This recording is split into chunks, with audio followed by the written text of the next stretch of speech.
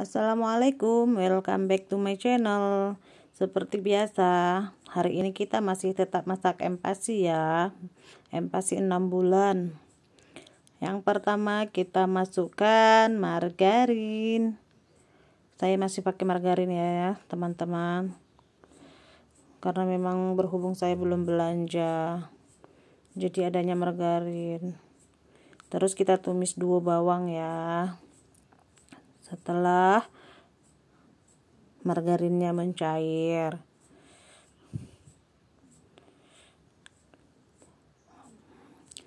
Kita aduk-aduk aduk-aduk sampai mengeluarkan bau. Nah ini kita tambahkan air sebanyak 400 ml aja.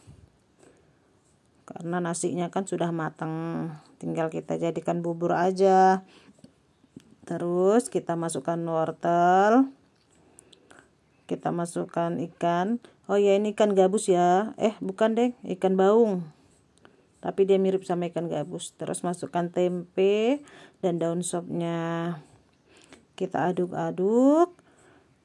Kita campurkan aja semuanya ya biar cepat kita aduk-aduk lalu kita tutup ya Nah, kita tutup dan tunggu sampai mendidih.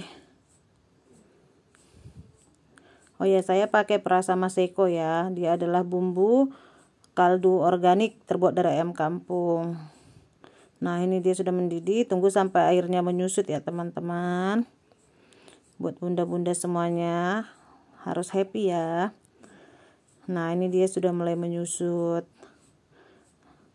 dan sayur semuanya sudah matang lalu kita angkat deh kalau sudah mengering airnya. Nah ini dia.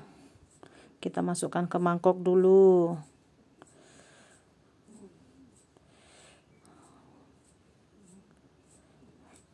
Ini dia ya.